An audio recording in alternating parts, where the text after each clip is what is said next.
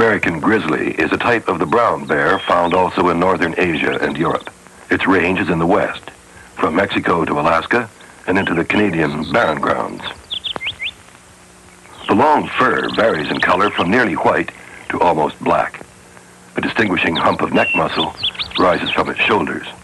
In January or February, the mother gives birth to very tiny young, weighing about 14 ounces each. However, their weight increases to about 20 pounds before leaving the den. Grizzlies live mainly on vegetation and fish, but they also prey upon ground squirrels, elk, caribou, and other mammals. For more information about the grizzly bear, contact the Canadian Wildlife Service, Ottawa.